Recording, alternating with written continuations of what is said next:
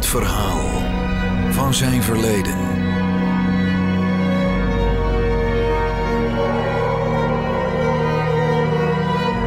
Is een zoektocht